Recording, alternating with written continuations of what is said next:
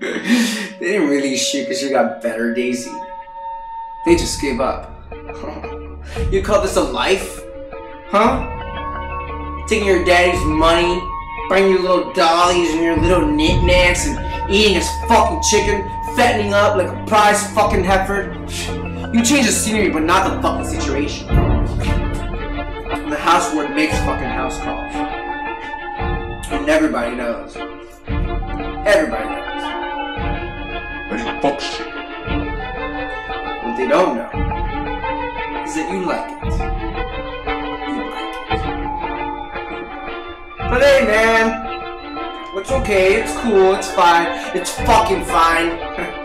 he's a man. He's a man. He's a dick. He's a dick. He's a chicken. He's a dad. Value, speculum, whatever. Huh? Whatever.